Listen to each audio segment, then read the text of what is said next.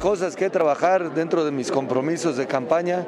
Ya estoy trabajando, siendo presidente electo, ya ando en campo, ando haciendo acciones, estamos recorriendo lo de abajo para arriba, activando a los jóvenes.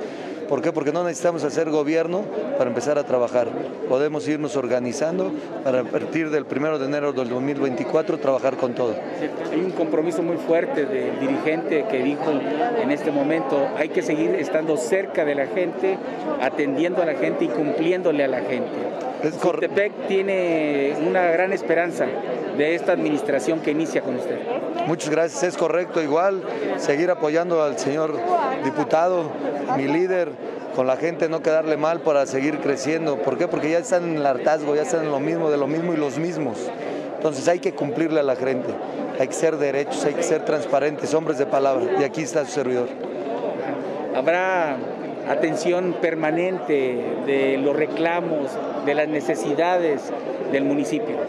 Le voy a compartir algo, yo como presidente electo, y le repito, ya ando en comunidades, no hay dinero que alcance, pero seguimos haciendo acciones como si anduviéramos en campaña. ¿Por qué? Porque es muy feo que de repente diga la gente, oye, se desapareció y quieres aparecerte a partir de enero. Yo sigo trabajando, sigo echándole para adelante, conviviendo con mi familia, con todas las amistades, con los líderes, con los delegados, para arriba y para abajo, como debe de ser a conquistar Sultepec con compromiso y con trabajo. Más y más, primero Dios. Esos votos que se fueron para la coalición, hay que jalarlos, hay que arroparlos, hay que trabajar, hay que ver qué, qué falta.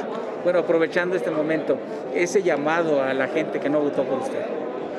Muy bien, cada quien tiene su decisión, es algo diferente. Esto que no votaron por su servidor, yo no lo veo mal, ¿por qué? Porque vienen de un casicasmo, vienen de un lealtad hacia un partido, pero se dieron cuenta que realmente el partido ya les está quedando mal, ya dejan mal de hablar del partido, no de las personas.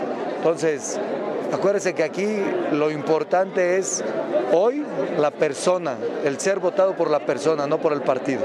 Muy bien.